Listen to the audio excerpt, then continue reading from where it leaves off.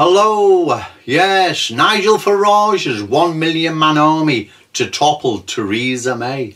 That's right. And there couldn't be a better time than the present.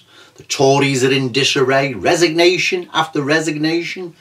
Theresa May just may need a little nudge there and a little push there and she'll fall.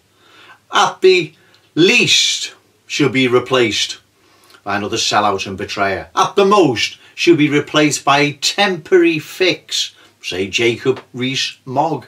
But that's no good a temporary fix. But if you have the Nigel Farage one million man army on the street, trust me, these people will have to sit up and listen. They will have to be, they will have to do what they're being told to by the people. They will have to do it.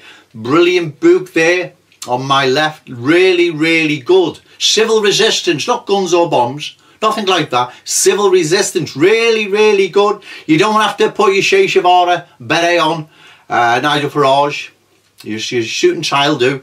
But let's get on the streets of London, a million man army, and let's force this horrible woman to go, right? And let's force, let's demand that she's replaced by someone that's going to honour Brexit what 17.4 million people voted for, which is to leave, to sever ties with the European Union. End of. And from there, the power of the people will keep demanding change till we've got our country back.